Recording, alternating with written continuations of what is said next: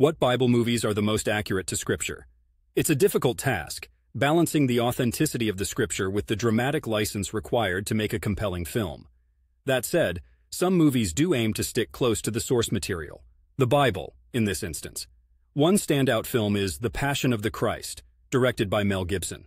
It picked up a lot of attention for its raw and graphic depiction of Jesus' crucifixion.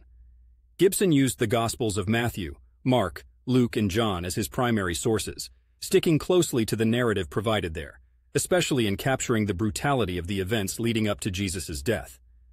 The film's use of Aramaic, Latin, and Hebrew also adds to its strive for authenticity.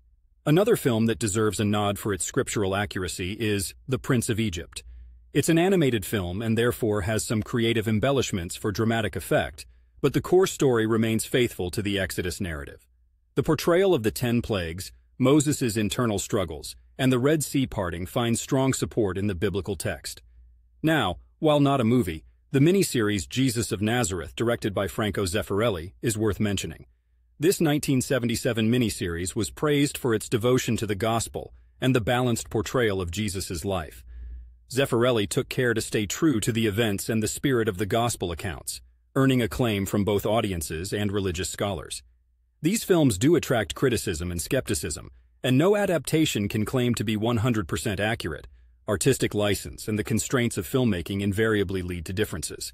However, these examples are generally respected for their earnest attempts to reflect the content and message of the Bible. And remember, I'm from Portland, Oregon, where we've got our fair share of interpretations on everything. But when it comes to Bible movies, accuracy to Scripture does matter to many. Whether you're in search of spiritual enlightenment or just appreciate biblical stories, these films are worth checking out. If you're interested in The Passion of the Christ, you can find more information here, https www.imdb.com slash title slash tt033535 slash, or for The Prince of Egypt, click here, https.imdb.com slash title slash tt01207994 slash, and to delve into Jesus of Nazareth, this link, https w.imdb.com slash title slash tt00755520 slash, has got you covered. Films are a powerful medium and tackling sacred texts is always going to be a tough job, but when executed with respect and a commitment to the source, these stories can be uplifting, sobering, and above all, enlightening.